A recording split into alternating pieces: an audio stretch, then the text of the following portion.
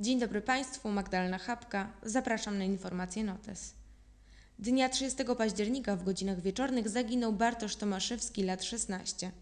Ostatni raz widziano go przed wejściem do internatu przy ulicy Gdańskiej o godzinie 19. Ktokolwiek widział Bartosza lub ma jakiekolwiek informacje o jego losie, proszony jest o kontakt pod numer policji 997 lub następujące numery telefonów 605 151 818, 691 686 007 bądź 691 812 395.